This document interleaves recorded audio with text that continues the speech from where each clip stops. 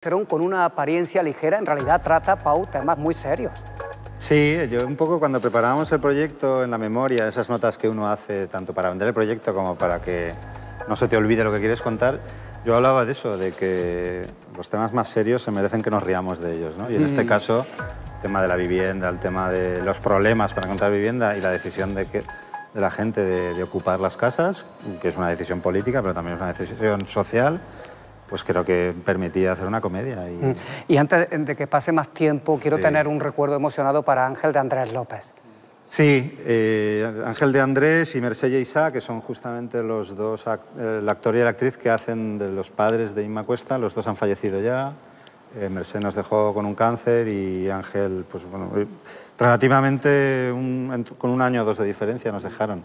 La verdad es que sí, dos grandes actores y el caso de Ángel eh, bueno, en los dos casos, ¿no? Pero hizo una aportación muy interesante a la película. Para ti, Andrew, fue una escuela también mm, de aprendizaje, aparte del idioma, que naturalmente prosperaría, a conocer la forma de trabajar en España. Era, era un cambio de culturas, eh, realmente. Eh, ver cómo está, cómo está hecho el cine en España, que, que la verdad que era un poco de un susto pero qué bien que ha pasado aquí, porque realmente lo que, lo que pasa, lo que se ve en la película, que es la relación entre la gente, entre estos personajes, también ha pasado en la vida. Ah, y la verdad es que eh, Mark y Jordi ah, y Fele eh, son, son, mi familia ya. Mark, y Jordi ya, ya, los tengo cada día por el teléfono. Esta, esta película me, me ha regalado muchas cosas y la experiencia ha sido pero absolutamente feliz, creo, que será, será, la palabra. Todos los recuerdos son de, placer, de, de, hacer cine en comunidad, con un grupo que creo que marca Pau como director, especialmente que hay directores que hacen el cine ellos mismos, que está bien, pero es su plan, su idea y vamos a hacerlo así y creo que Pau tiene la idea que, que el cine tiene que hacer en el equipo y, Sometido a un guion, pero libérrimo, en cierto modo, Y es mejor sí, bueno, sobre sacando todo, de todo. Escuchando las opiniones de la gente, mm, yo siempre he defendido que el cine es un trabajo en equipo muy importante, porque el director mm, es una persona que dirige los talentos de la gente, pero no controla el talento. Yo no soy eh, el actor que son ellos, ellos saben actuar, yo no ni tampoco se iluminar como el director de fotografía. Entonces, siempre es guiar los talentos de todo el mundo hacia un objetivo común, que ya es lo creo la que historia saben actuar. y la película. Y tienen una naturalidad tremenda hasta para salir de la ducha. Sí. Pues eso me costó, ¿eh? ¿eh? A ver. Sí, sí, sí. Yo le decía a Pau, me vas a hundir, cabrón. Digo, me vas a hundir. ¿Fue tu primer desnudo? ¿Te acuerdas? Eh, sí, sí. Y además, hacía frío, de verdad. Que lo que digo es que es verdad, porque todo el mundo decía, tú sabes que siempre cuando estás en un sitio y hace frío, todo el mundo te dice, los que son lugareños, pues esto, vamos, esto nunca, nunca, nunca ha hecho este frío, nunca ha hecho este frío, sí, pero qué casualidad, siempre pasa lo mismo. Y me acuerdo que me pusieron una moqueta en el suelo porque tenía que salir descalzo, ¿te acuerdas? Y yo decía, Dios, hostia, es que, es que, mañana, es que mañana estoy malo. Y tal. Entonces, bueno, hubo mucha protección. Y además creo que era antes de que cantaras, ¿puede ser? Algo así, ¿no? Sí, sí, Y yo me acuerdo que me ponía agua caliente y digo, no, no, prefiero que sea fría porque como eh, cuando estás con agua caliente y luego pasas al frío es peor, ¿no? Y decía, no, ponerme el agua, el agua caliente, ponérmelo ahí templadito y tal y cual, porque luego al salir, pues, pues se me va a notar que estoy tiritando. Pero sí que fue una película, eh, que, lo que estáis comentando, ¿no? Es una película que ya genera en sí ese alma de equipo, ¿no? Porque la película en sí es eso, ¿no? La película eh, en sí eh, es, es un perfil de personaje que engloba luego a todos, todos forman parte de un todo que es de ese grupo de gente que tienen una misma dirección, ¿no? que tienen un, mismo objetivo, que fundamentalmente es vivir y hacer de su vida lo que le, plazca. ¿no? Porque yo, como digo, como antes estaba comentando, Ana, que hoy en día en, en esta sociedad en la que vivimos somos esclavos, ¿no? Yo digo que la palabra familia en arameo, el significado es pequeño grupo de esclavos. Y eso es lo que somos. ¿En serio? Porque, hombre, hoy en día somos esclavos, somos esclavos, tú estás en casa sentado y, y, eso tiene un gasto. Estar en casa sentado sin hacer nada genera un gasto. Tú eres esclavo de, de tener que pagar un alquiler o, un, o una hipoteca, tienes que pagar una, una luz, tienes que pagar un agua, un teléfono. Entonces, sin hacer nada, tú ya tienes un gasto, por lo tanto eres un esclavo por naturaleza. No es decir, soy un esclavo porque trabajo de sol a sol. ¿No? No, no, somos esclavos sin trabajar, sin hacer nada, tú tienes que rendir cuentas, Como, ¿no? como ves, el Y- espíritu de, de la casa ocupa se le quedó. muy- Claro, no, no, Por es que eso esa es nuestra Manuel se dice realidad. que ¿eh? Es juramos en arameo, ¿no? cre- creer otra cosa es creer que somos libres, pero no somos libres. O sea, estamos sometidos a un sistema social, eso. Y no estoy largando un, un discurso antisistema, sino lo que te estoy diciendo es lo que hay. Y es de tonto no verlo, ¿no? Y yo creo que, vamos, no es, de- no es que sea de tonto, igual es de listo, ¿no? Porque dicen que el, el dicho de corazón que no ve, ojo que no siente. No, cora- ojo que no ve, corazón que no siente, ¿no? Entonces, ignorar las cosas a veces por comodidad nos viene bien. Pero la realidad es esta, ¿no? Y creo que eso está, ¿no? Porque eh, eh, como, conforme se va desarrollando la historia, eh, lo, lo que queda claro es lo que somos ¿no? y lo que representamos. ¿no? Y somos el sostén de, de una sociedad. ¿no? Y unos estamos sentados y otros vuelan. Pau, como guionista, es amigo, eh, al ponerle nombre a sus personajes, de utilizar eh, la brevedad.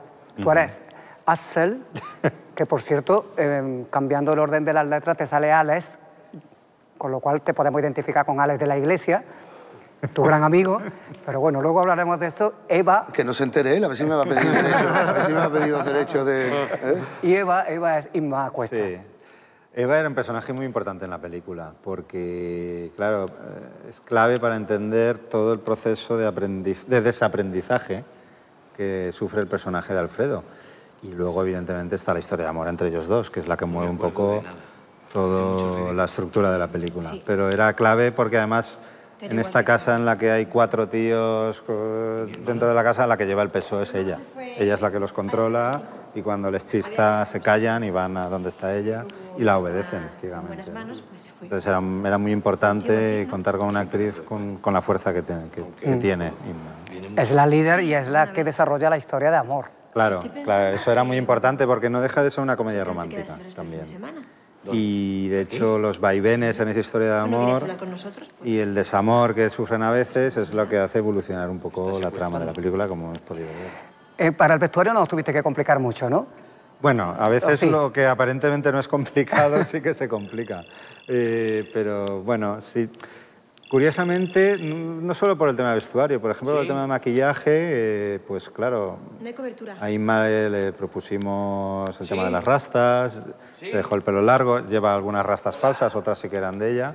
Pero, por ejemplo, hay un detalle que solo se ve en una secuencia o dos, pero le dije, le llamé un mes antes o dos y le dije, no te...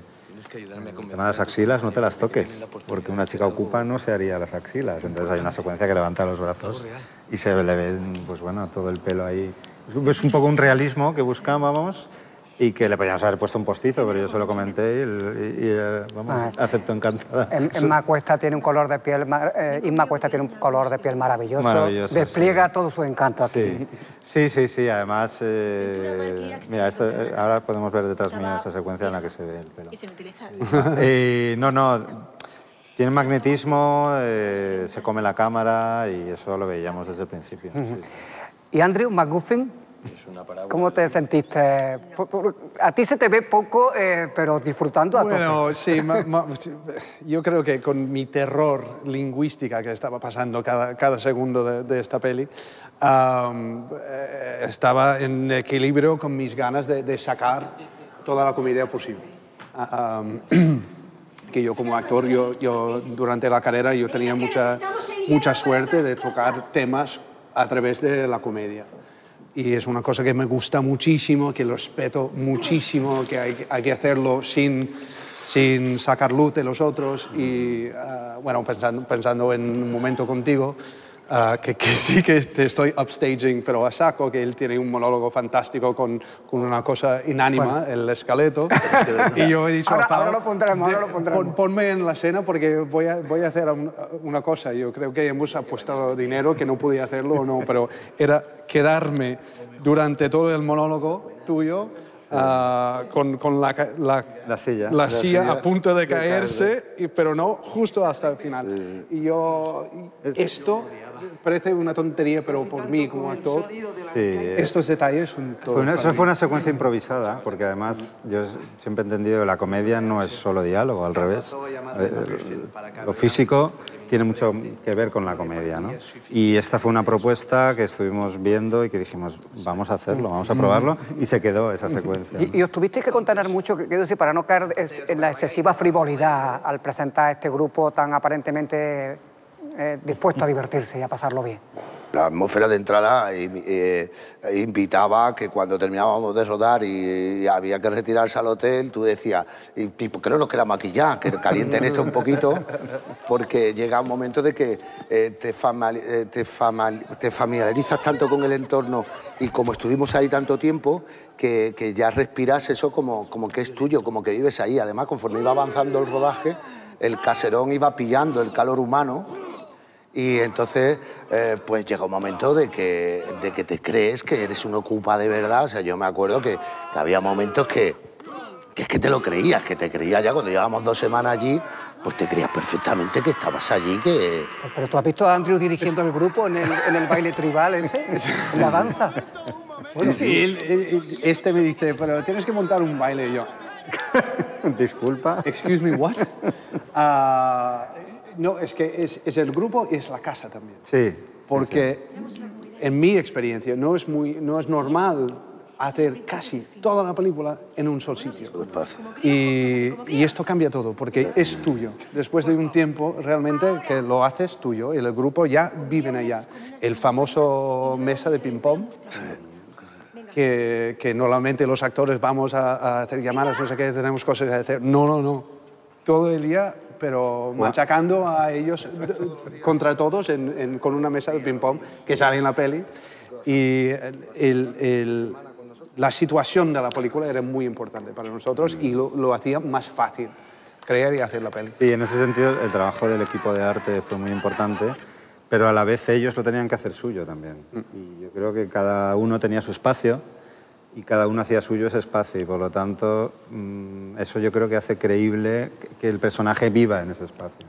Yo creo que Y- eso era muy importante. Y la verdad que también es fundamental, como decías, que es una comedia romántica, pero también es- es- creo que es una, una película ¿no? en la que te demuestra cómo el amor es el motor del, del mundo, ¿no? Como la motivación es el amor, ¿no? Y siempre eso es lo que mueve, lo que mueve el mundo, mueve la energía y, y cambia a las personas, ¿no? Y nos posiciona en un, en un sitio o en otro, que ocurre con, con Fele, ¿no? Fele se transforma a la vez que también eh, el personaje de Isma, ¿no? Va- evoluciona, ¿no? Y, y llega a comprender ciertas cosas y, bueno, y hace que ella haga un acercamiento a su familia para solucionar Ella las hace cosas. una confr- confrontación con su padre eh, Exacto, potente. correcto, exacto. Y entonces te das cuenta como eh, esa realidad, ¿no? De que el amor mueve, mueve montañas y es el motor del mundo, ¿no?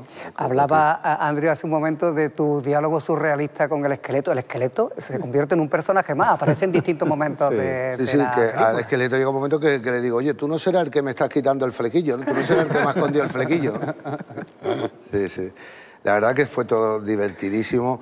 Bueno, la- eh, trabajar con Pau, que es eh, súper cómodo porque, eh, como él dice, él te deja que, que él te da la- las indicaciones, pero luego él te deja que tú vueles dentro de, de la estructura del personaje y, de- y del entorno, ¿no? del ambiente, del acting, de la situación.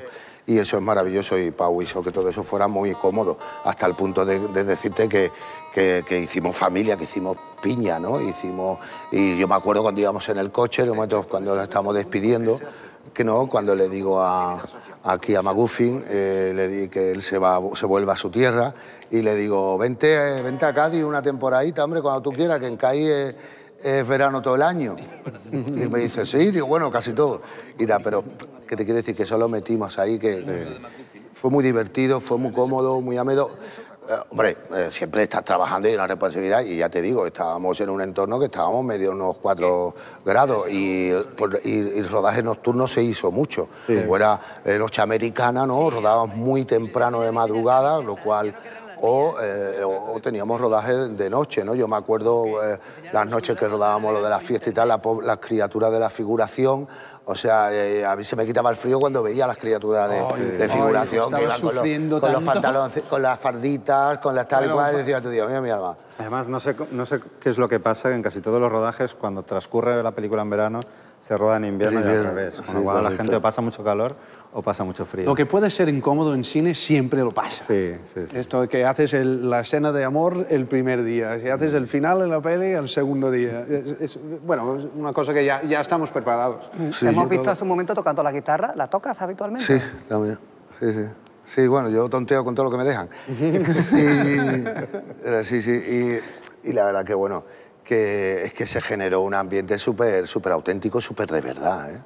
De hecho, eh, cuando terminamos la película, nadie se quería ir. Ya. Nadie nos queríamos ir a casa. O sea, de hecho, oye, ¿y, y si alquilamos el caserón y nos quedamos un par de mesecitos más? Bueno, eh, siguiendo con los piropos, es que, es que el equipo también era Sí. bastante especial. Yo recuerdo Laia Serra, que era, no era director de arte, pero era su Sí, asistente, y eh, había un momento que McGuffin hace su cóctel, McGuffin, y estaba montado de una manera y yo he dicho, podemos hacerlo así, y tú minutos antes me has dicho que sí, si Laia dice que sí, se- hace. Y yo me fui a hablar con Laia y he dicho, Laia, tenemos que cambiar toda la escena, todo, todo tu trabajo que has hecho, podemos modi- modificarlo, que era cambiarlo totalmente. Y la tía me vio y, sí, claro, claro que sí, tenemos tiempo, pues vale, a, a saco. Y era así, era, era una, una mini comunidad muy especial. Yo me acuerdo que me hicieron una broma de esto que probé, había varios, varios recipientes con el cóctel ese, ¿no? Que se había El hecho. cóctel el El cóctel McGuffin. Y entonces estábamos ahí, estábamos entre, entre toma y toma y tal y cual, pues me dio por hacer así, echarme de una olla, que tal, y, y probé, y se, y se pusieron estos, no, no, digo, ¿qué? Que no, que eso tiene de verdad, no sé cuánto, digo, ¿me estás contando? Digo, "Guau". Y me lo creí, pues ya, es que llega un momento que me lo creí de verdad, y estaba acojonado, digo, verás tú esto, y me hicieron creer durante un rato que había tomado algo que tenía cosas. A, veces se aprecia algo de descontrol en el tono Bueno, de la película. Pero en y general yo te veo muy moderado, muy prudente, porque incluso al presentarnos la figura eh, del concejal de urbanismo, que tiene asuntos sucios que ocultar, Sí. lo presenta con cierta dulzura, ¿no? con cierta suavidad. Bueno, dulzura. No, yo creo que lo que... Lo redimes por la hija, en cierto modo, Sí, también, ¿no? sí, lo que pasa es que al final traiciona a la hija también. Y la hija se lo devuelve, como podemos ver al final de la película.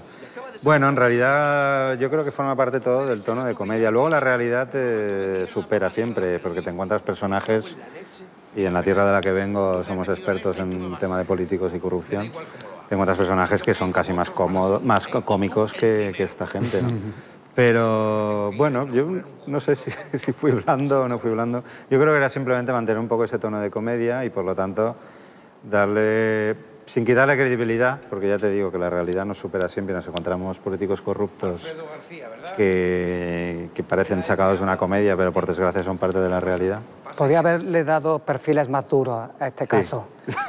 bueno, Pero lo que pasa es que Ángel Andrés eh, también, eh, su forma de ser, ¿no? Sí. humaniza mucho el personaje. Sí, claro, es un personaje, ya él a nivel humano lo era, pero cuando trataba a los personajes, pues evidentemente lo que tú dices, ¿no? Eh, resultaban muy eh, entrañables eh, de, de alguna manera, sí. Eso, eh, eso que tú dices, lo entrañable se aprecia inmediatamente cuando el argumento de pronto da un giro Sí. y te presenta que ella, Eva, es la hija precisamente, que se ha ido de la casa porque está harta de la Claro. manera de estar de sus padres. Claro, el personaje de Eva en realidad no deja de ser una niña pija, una niña bien, que, que está jugando a ser ocupa, que es un momento, el momento de crisis entre Alfredo y Eva, él, él se lo recrimina, ¿no? Un poco eso. Lo que pasa que yo, ella luego le da la vuelta. Eh, pero claro, ya partimos un punto de partida que es que su padre es el, el concejal, pero la madre es la jefa de la oposición, o sea, es un poco una situación un poco cómica ya, ¿no? De por sí, son dos personajes muy alejados a nivel político y sin embargo son, han sido matrimonio y son los padres de, la Ocupa del Pueblo, que supone que es un pueblo muy pequeñito y...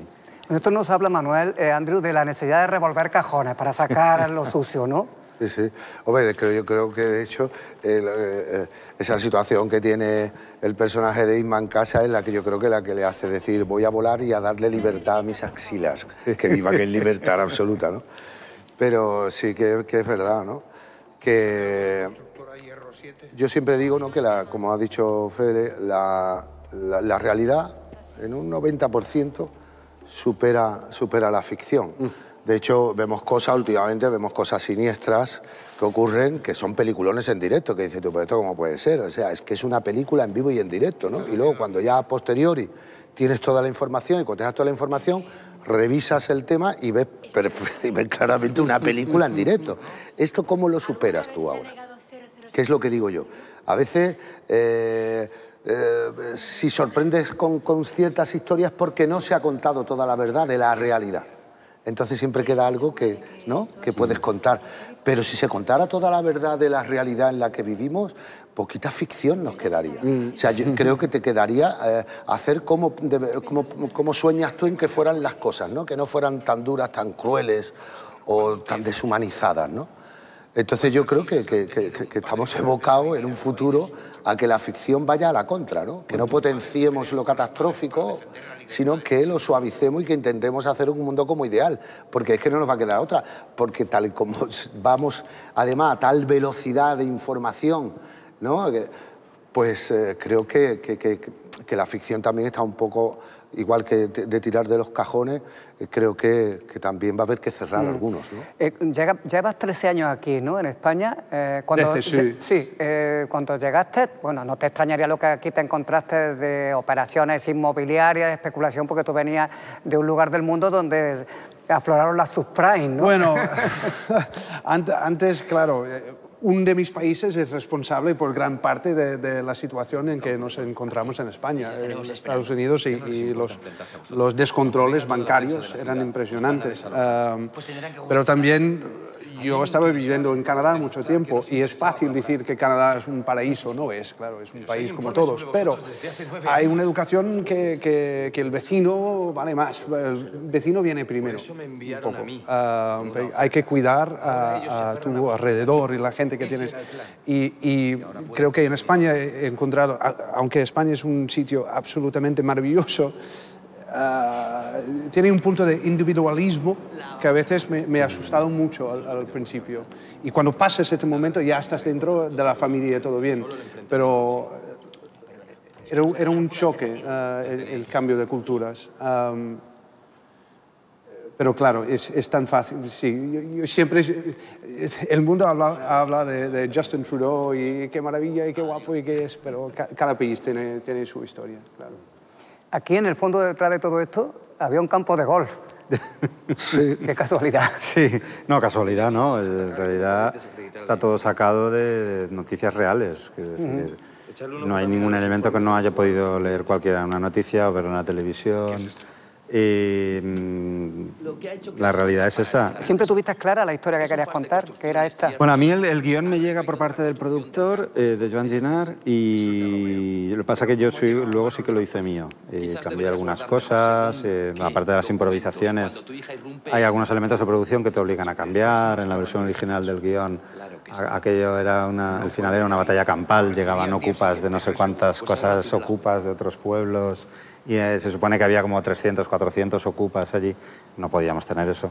Pero yo creo que a mí me gusta más como queda ahora al final. Creo que es más, más romántico, más interesante, más, no sé, mm, no diré más inteligente, pero sí darle la vuelta Sí, sí, yo estoy al con- concepto. conforme contigo. Creo que no hay que plantear una batalla. Claro. Aquí se plantea perfectamente y se ve, se muestra eh, el desalojo, cómo hay una forma más inteligente de comportarse, ¿no? No, bueno, ya hay un dicho de los ocupas que es un desalojo, otra ocupación, pues es un poco lo que hacen ellos, ¿no? Y además lo hacen en la casa en la que iban a hacer la Casa de la Cultura, justo enfrente del ayuntamiento, con lo cual, ah, vamos, a los políticos les fastidia más todavía, ¿no? Les Desalojo hippie, Ma- Manuel, con furgoneta Volkswagen, Con, la- con el esqueleto dentro, que el, el hombre Sí. sufre el frenazo también cuando Sí, sí.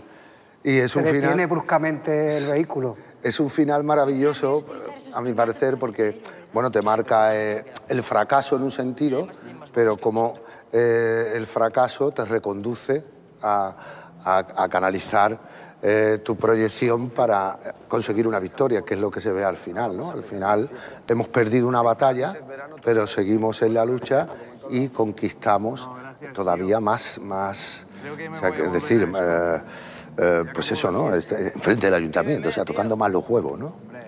Y creo que ese, ese final es muy potente, ¿no? Porque marcas que pierdes una batalla, pero es como, como a mejor, ¿no? Como que te impulsa a ver con más claridad y, a posicionarte eh, de una manera más, mm, más contundente, ¿no? Ante esto que está pasando. Pero sí que además recuerdo que yo cuando empecé a, empezamos a rodar esta película, yo venía de Cádiz de vivir precisamente esto de la burbuja inmobiliaria, ¿no? Con, unos pisos que en Cádiz empezaron a construir y se han quedado ahí, ¿no? Justo fue eso. Eh, eh, y era lo mismo, ¿no? Que estábamos padeciendo y yo decía, hostia, manda huevos, es que esto, esto lo, lo- estoy sufriendo, ¿no? Y bueno, todavía, ¿no? Pero te quiero decir que eh, creo que la película es, eh, es una película que no, mm, no es un bálsamo, sino que creo que, que es una película que te muestra la realidad, ¿no? Y la realidad es esta. Y, hoy tú lo ves en los informativos y, y parece como si fuera un documental en vez Eso, de una película. eso- eso creo que es una cosa eh, que queda muy de manifiesto, ¿no? Que han pasado 10 años, pero que la película tiene todo su valor intacto. Sí, yo creo que tiene, tiene vigencia, sí. No mm, creo que por desgracia, claro, porque de hecho eh, no aprendemos y la burbuja inmobiliaria está volviendo. Entonces parece que no aprendemos, parece que eh, la especulación es lo que vale, ¿no? Y volver a invertir en el, en el ladrillo, en vez de invertir en, no sé, en avances tecnológicos, en industria, en, en cultura. Parece que la gente solo pretende invertir. Invertir en cultura, dice. Sí, es Ah, lo que deberíamos vale. hacer. Había una historia en, en la Barceloneta, donde vivo yo, en, en Barcelona. am, había una casa, un, un edificio fantástico, era de, de cinco pisos, guapísimo, que era una casa de ocupas, que ocupaba un sitio muy transitado en, en am, Passeig Borbón, ahí al, al port. Y la típica, lo, lo que ves en, en la película, la típica cosa, habían conciertos pequeños que podías pasar y hacer un clase de, de coser o, o lo que sea. Era, era muy bonito. Am, y un día viene el ayuntamiento con una máquina que antes no he visto nunca, que son una especie de tisores, que son Tijeras. tijeras. Una especie de, de tijeras enormes que se fue desde arriba del, del edificio cortándolo en dos.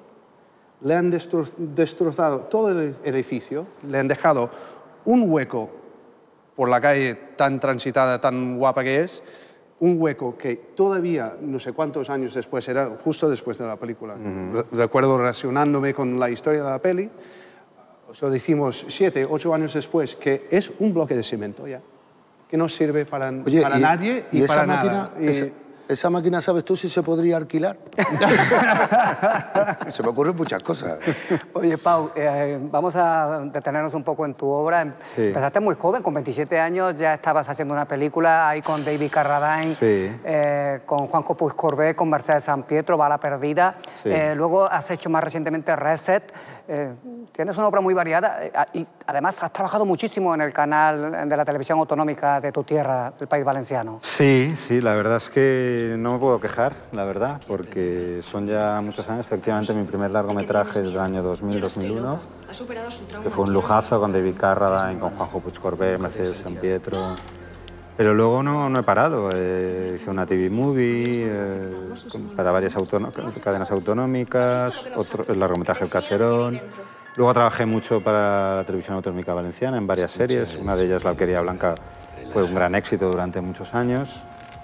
Luego sufrimos el cierre, como la gente ya sabrá, el cierre de la televisión valenciana, pero yo aproveché para, bueno, pues he hecho dos largometrajes más durante esta época. Ahora que vuelve, aunque no está empezando a emitir todavía, ya está más trabajando, pues estoy volviendo a trabajar para la televisión y preparando un nuevo largometraje. La verdad es que no me puedo quejar, me siento un privilegiado. Ninguna de esas películas ha sido un éxito de taquilla, pero bueno, el éxito es poder vivir durante casi 20 años de este trabajo. Yo me lo tomo así. Cu- Cuéntame, confiésame una cosa, ¿fue fácil trabajar con David Carradine?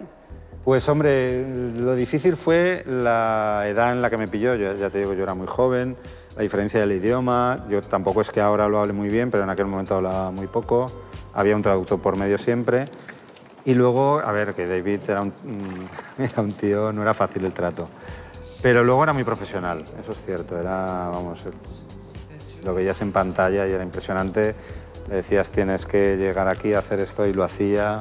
incluso con el caballo, una de las cosas que nos llamaba mucho la atención a todo el equipo era el, el manejo que tenía con los caballos, hasta el punto de que le decías, "Mm, el caballo tiene que pararse aquí.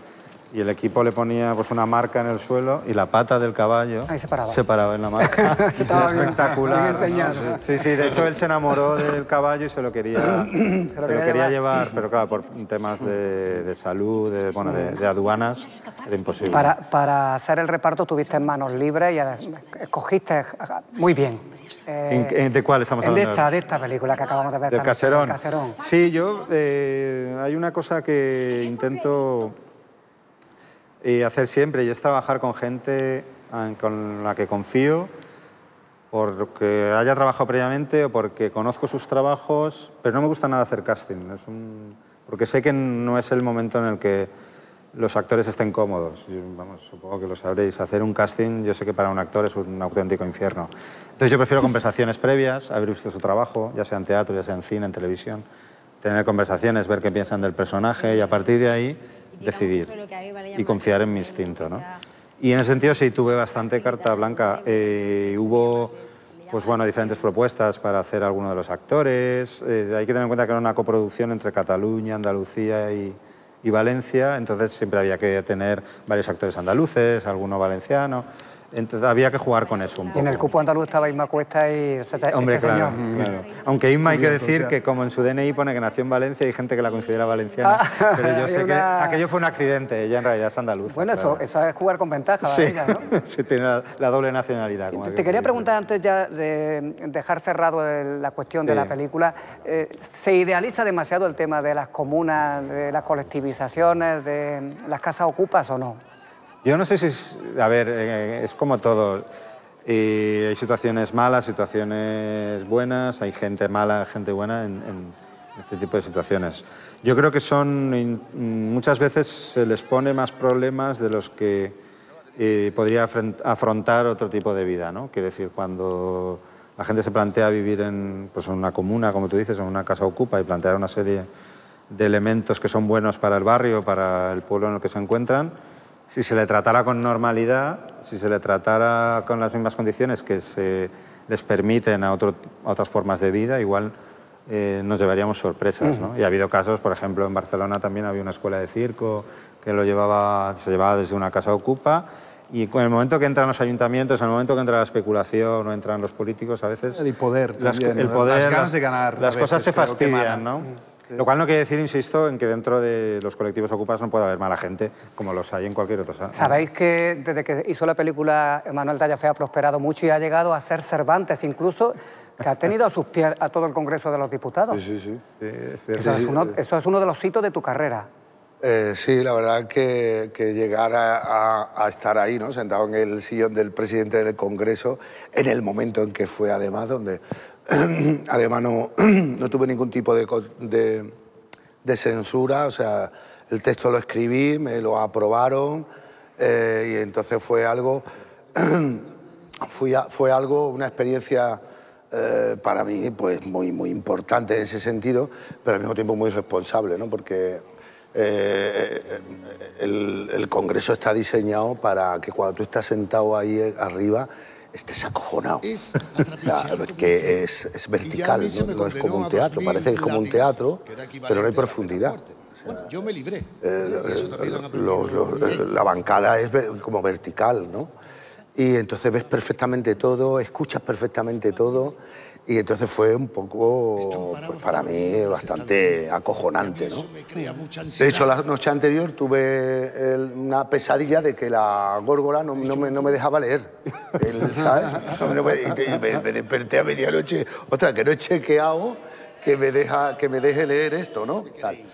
La verdad que fue una experiencia maravillosa, lo cual se lo tengo que agradecer tanto a, a Tony Canto como a Pachi López, que fueron los que me propusieron esto, confiaron en mí y bueno, lo hicimos, ¿no?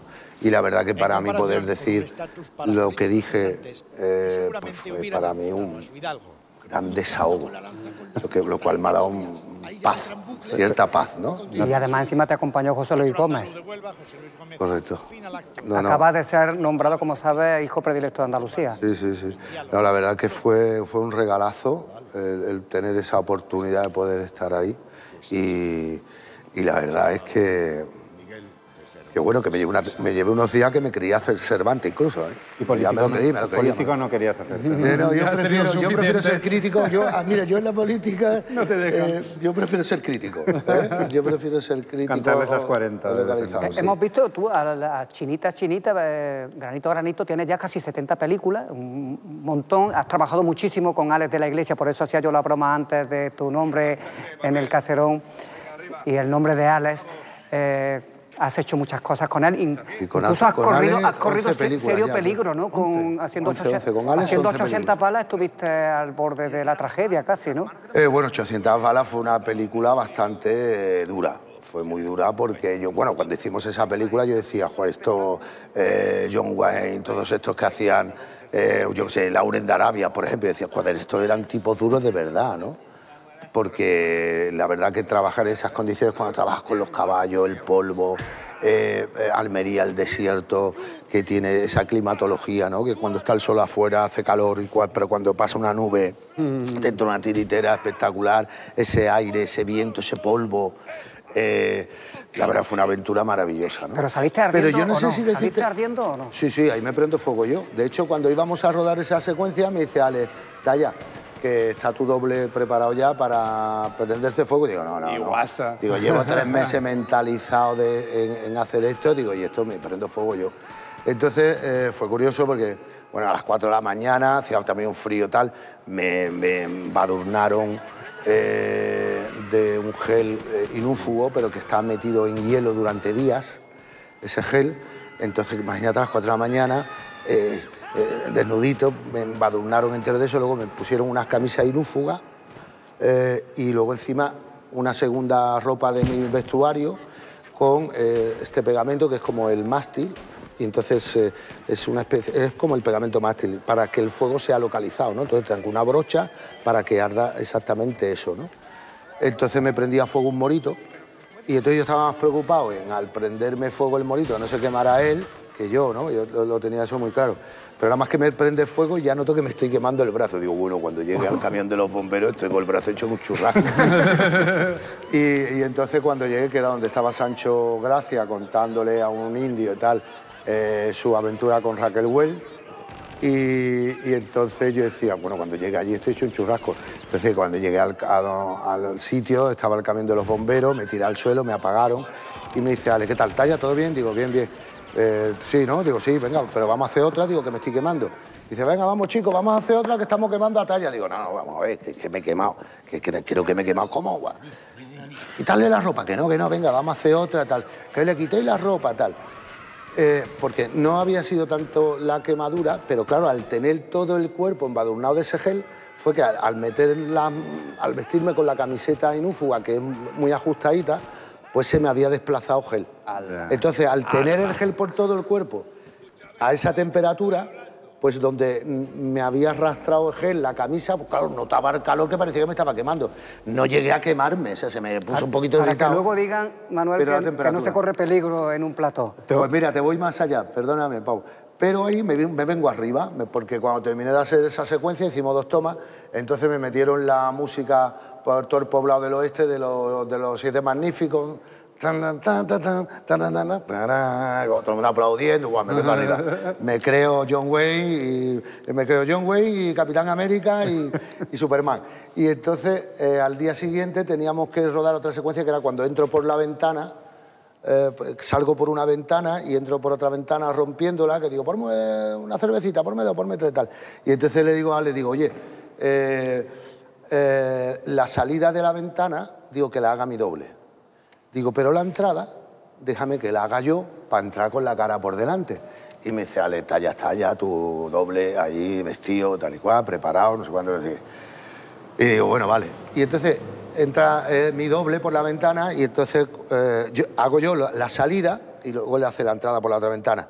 Y entonces el doble normalmente intenta ocultar para que no se, se distinga de que no eres tú, ¿no? En este caso. Que yo decía, pero si me he prendido fuego yo, pues, pues, pues déjame que entre yo por la ventana. No, talla, tú, tal. Y, cuando, y lo hace mi, mi doble y cuando se levanta se había hecho una brecha en la nariz y él entró ocultando, la, escondiendo la, la cara.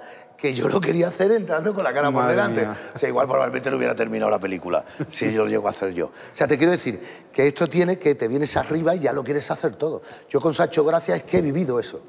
Yo con Sancho Gracia era lo, lo hacía él todo. Sancho, que está tu doble, que no, que lo hago yo. Sancho, que está tu doble, que no, que lo hago yo. Yo me acuerdo que decimos los managers que hay un momento que, que se sube en el- la pick-up, en el morro del, del- coche, él sin, sin seguridad y, quería saltar a la ruló y, y tuvieron que pararlo todo y casi lo tenemos que amarrar para que no saltara, porque lo quería hacer todo. Y eso, te quiero decir, también al, tener amigos como Sancho, los, los cuales me han aportado muchísimo, me han enseñado muchas cosas y sobre todo lo que me han aportado es esa energía, ¿no? Eh, de por mis huevos. Y entonces, cuando eres actor y, haces dos cositas, te sale bien, te vienes arriba y ya lo quieres hacer todo. Yo creo que todos estos riesgos que nos acaba de relatar es lo que le ha llevado al final a reconvertirse en director, que por cierto le va bien, ha hecho un corto, Cazorla Experience, Sí. y le han dado un premio. RTVA hace muy poquito tiempo. Lo sé, lo sé. Terminamos aquí, amigos. Ha sido un placer enorme eh, teneros. Pau Martínez, gracias de verdad por Gracias, venir desde Valencia. gracias a ti y a vosotros. Andrew, de verdad, nuestra gratitud eterna por venir desde Canadá. No, desde Barcelona. y gracias a ti también, Manuel, por venir Gracias desde. Cádiz. Ha sido un placer. Ya saben que aquí tienen una cita con el cine y con la buena conversación cada fin de semana. Los sábados siempre, a eso de las diez y media de la noche, en una de cine, en Andalucía Televisión. Que lo pasen bien y descansen. Adiós.